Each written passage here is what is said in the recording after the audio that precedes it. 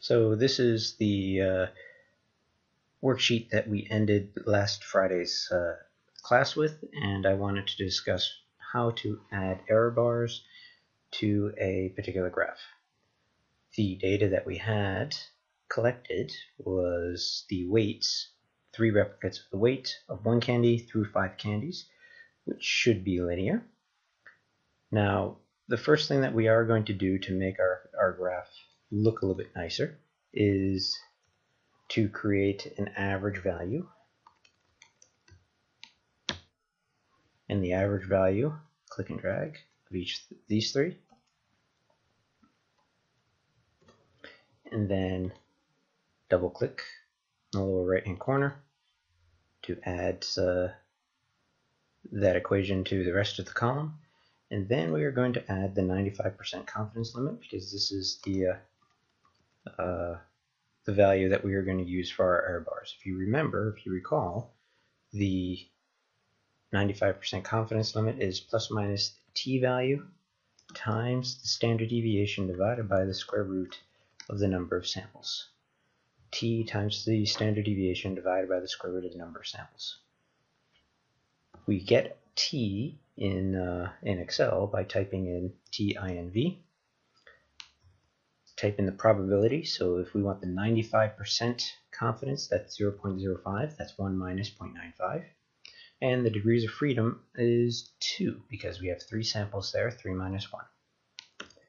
Multiply that by the standard deviation. Standard deviation equation is obtained through stdev. And highlight the three values for which we're calculating standard deviation, and then divide that by the square root of 3, which is the number of samples that we've got. Okay, and we take that number, right click, drag that down. So far so good. Let's go ahead and select the data for plotting. I use the control key to select multiple data sets.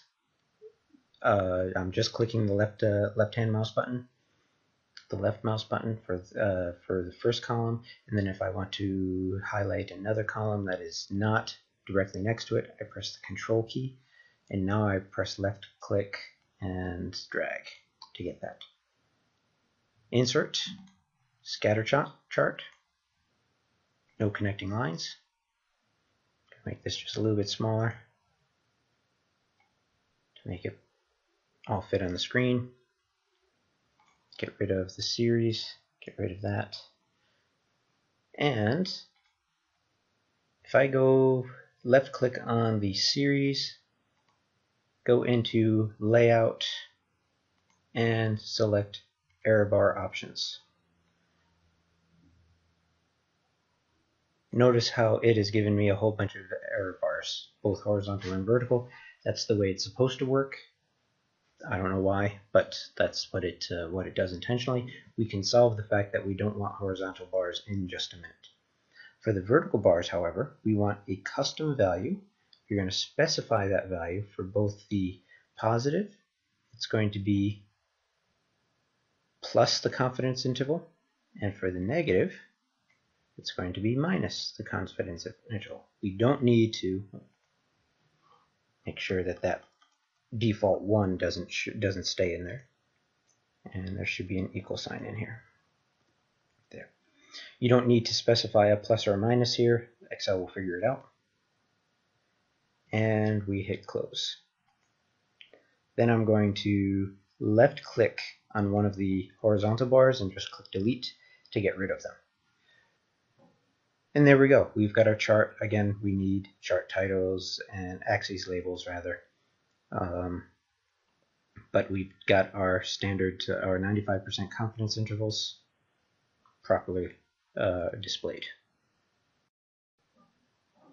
Okay, I would like to make one comment about uh, something that's a little different from what I mentioned in class.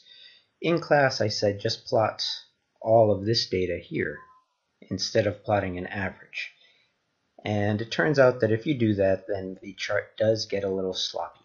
So it makes sense uh, to just plot the average plus the 95% confidence interval. But it's important that we still did our exercise over here, and I will show why that's the case right now. So if I move this, uh, well, before I move that chart out of the way, let's right click and add a trend line and see what the equation is. Notice how the equation 0.865, 0.865, 0.051, 0.05099. So the equation that we obtain here agrees with the equation with the information we obtained through the uh, linest command, except when we take a look at the r squared. The r squared is 0.9997, and in the linest equation, the uh, the r squared is 0.997, only two nines versus three nines. What this is suggesting is that the average data provides a better result than the individual data. Let's take a closer look at what uh, what's going on here. One way to do that is to perform the LINEST on the average data equals line st and instead of choosing all of the data like we did for the y's previously I'm going to choose the average data and the uh, x's as usual. True. True. Remember control shift enter. Notice that the slope is the same. The intercept is the same so that's good. But the standard error in the slope is a little bit lower than it is here.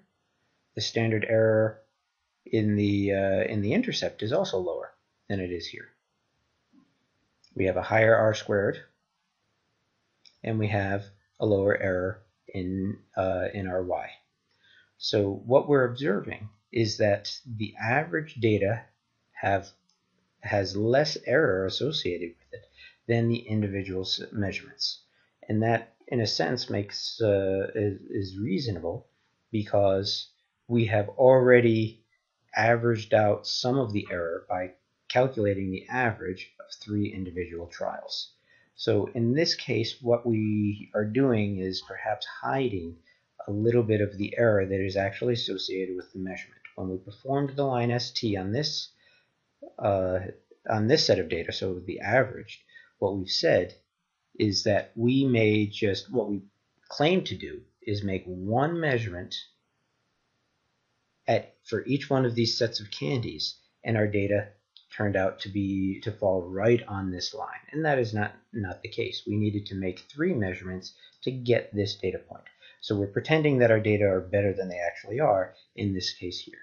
So it is appropriate for us to report this information when um, uh, when reporting the actual error of our measurements. However, when we're trying to create a graph, it is still okay for us to simply draw the line in our graph using the right click format trend line or add trend line.